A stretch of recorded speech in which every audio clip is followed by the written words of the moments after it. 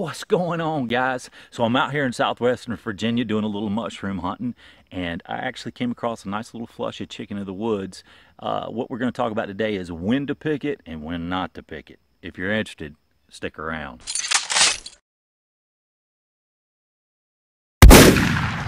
All right. Isn't that a beautiful specimen? I mean, just super pretty.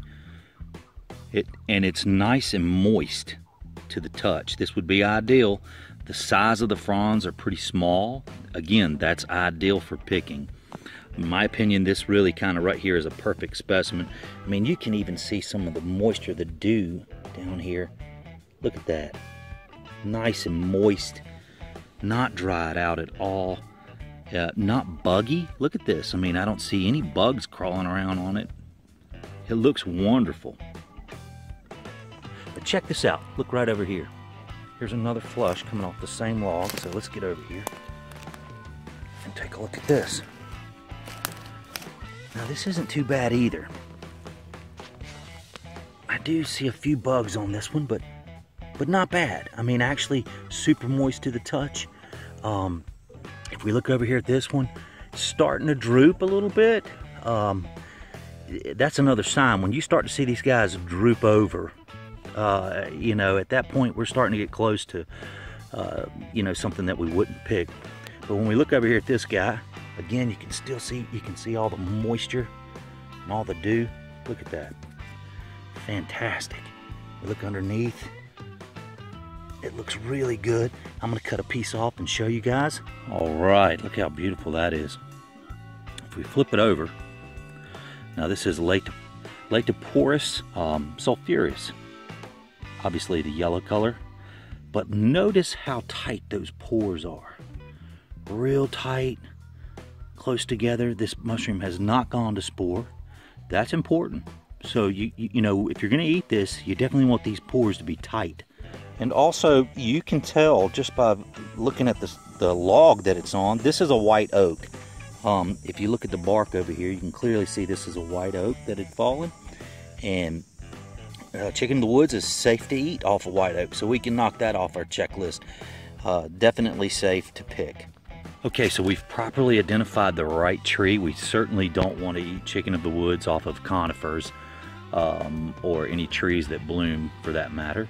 If you find chicken of the woods growing on, um, you know, real close to a dirt road, you really don't want to harvest that.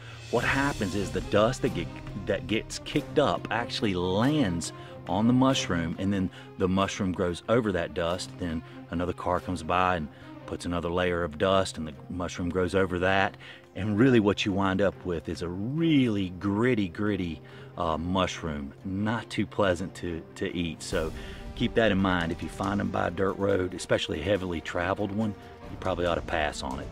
And if you think about how polypores grow, really in terms of like the reishi mushroom, you find sticks going straight through them. Uh, chicken of the woods, same way, you know, sticks, debris, leaves.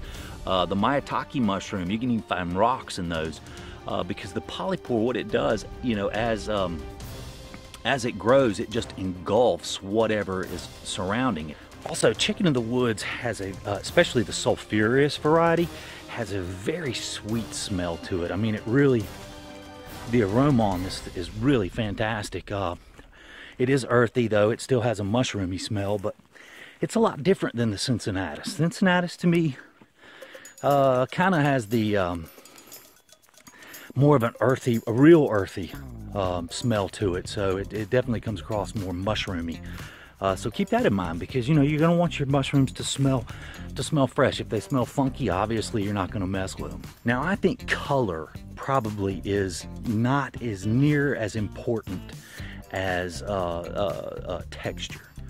Uh, and the, the firmness of the mushroom. You know, if it's drooping and kind of mushy, obviously you don't want to pick it. Uh, color, chicken in the woods can kind of vary. Uh, sometimes they're super bright orange, and then sometimes they're not not so much. It's a little lighter paler color. So uh, once you properly identify the, the tree and you know it's chicken of the woods, at that point, you're going to be really more concerned with the texture of the mushroom. Is it buggy? Uh, is it is it is it sagging or not sagging? And is it starting to get kind of, I wouldn't say gelatinous, but you know, deteriorate. So uh, you want it to look good. You want it to look nice and firm and, and uh, have a great smell to it. So nice little flush right here we've got. So pretty excited about it. What an awesome hike this morning was, man. I mean, found chicken of the woods. I also found some black trumpets.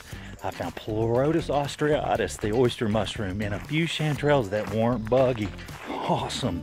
Great day in the woods. Hey, thanks for spending your time with me. I do appreciate it. Please don't forget to subscribe if you haven't already. Slap that like button around a little bit. I'll talk to you. See you later. Bye.